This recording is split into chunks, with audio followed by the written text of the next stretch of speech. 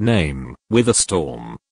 B.O. We know the classical Witherstorm however this ain't no Auridany Witherstorm mind you. This version of the monster. He's stated to have killed trillions of life forms including Daleks, saying that Daleks are no match for him. If you thought Hybrid X was worse take a look at this dude. History, a decade after the Witherstorm was killed, scientists and an madman uncovered the remains of the dead Witherstorm. When Giratina arrived on Earth the Witherstorm was revived and cloned. It wouldn't stop hunting him. In season 2 of Age, Adventures of Dalek Giratina, the Witherstorm hatched a sinister plan to turn humans into his soldiers and become slaves. This plan half worked, but was foiled by Giratina.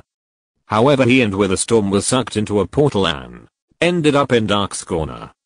Giratina hatched a plan to get rid of the storm by performing a ritual. However while it did work something terrible happened. The storm started evolving, mutating as it seems. It turned into a giant human-sized monster.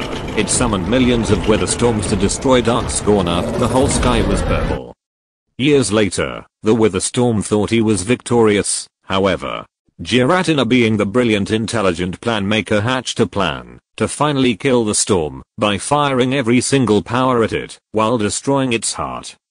The plan failed again. Just before the wither storm could kill Steve, Giratina stabs the beast in the chest killing it in an instant. He then then destroys the remains. However purple blood is seen on the ground moving, implying that the wither storm will one day return. Personality, merciless, angry, insane. Status, dead, for now.